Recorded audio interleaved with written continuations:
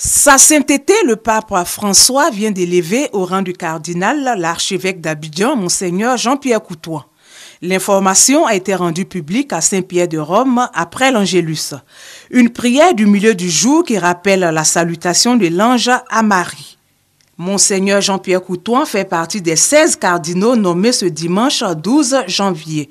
En plus de la Côte d'Ivoire, le Burkina Faso a été aussi honoré avec la nomination de l'archevêque de Ouagadougou, Monseigneur Philippe Ouedraogo.